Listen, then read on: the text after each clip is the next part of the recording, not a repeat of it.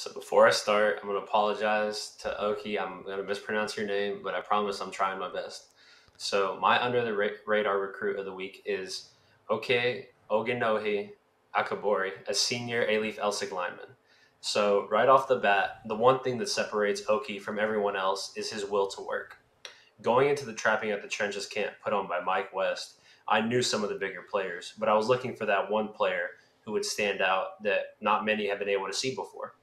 I was able to watch Oki warm up, and right off the bat, I could see the sense of urgency in his movements.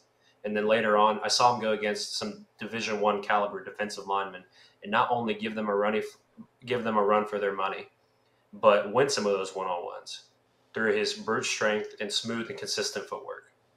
With all the intangibles that Oki is able to bring, his physique does not lack of a co- collegiate athlete. Oki stands at 6'2 and weighs in at 290 pounds. But also, an interesting fact about Oki is that he only recently started playing football as his family relocated from Nigeria just a few years ago. Although Alief Elsik has not been a contender for the last few seasons, I believe Oki can help turn that tide around. Yeah, it's one of those upsides, right? You haven't played football a lot. There's a lot of upside there.